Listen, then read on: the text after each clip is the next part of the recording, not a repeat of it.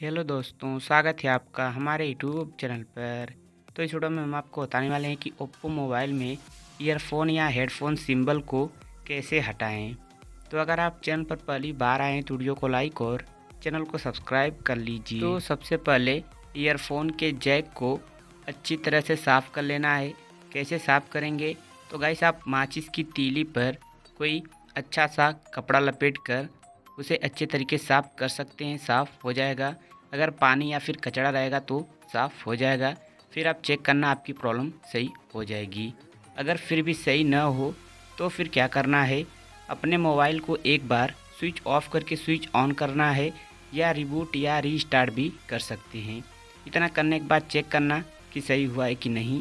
अगर फिर भी सही नहीं होगा और अगर सेटिंग से कोई प्रॉब्लम रहेगी तो आपको मोबाइल के सेटिंग्स में जाना है। फिर आ जाना है थोड़ा नीचे और यहाँ पर एक ऑप्शन मिलेगा, सिस्टम सेटिंग्स या एडिशनल सेटिंग। इस सेटिंग पे क्लिक कर देना है। क्लिक करने के बाद नीचे आएँगे तो बैकअप एंड रीसेट का ऑप्शन मिलेगा, इस पर क्लिक करना है। फिर आपको नीचे रीसेट फ़ोन का ऑप्शन मिलेगा, इस पर क्लिक करना है। तो यहाँ पर रीसेट नेटवर्क सेटिंग्स और रीसेट ऑल सेटिंग या रीसेट सिस्टम सेटिंग का ऑप्शन मिलेगा।